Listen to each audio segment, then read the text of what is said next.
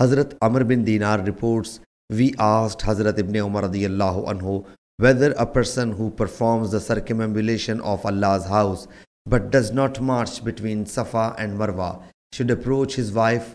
He said, the Prophet ﷺ reached made seven circuits of the house and performed two units behind Ibrahim's station, then marched seven times between Safa and Marwa, and no doubt you have the best in the following of Allah's Apostle sallallahu alaihi wasallam.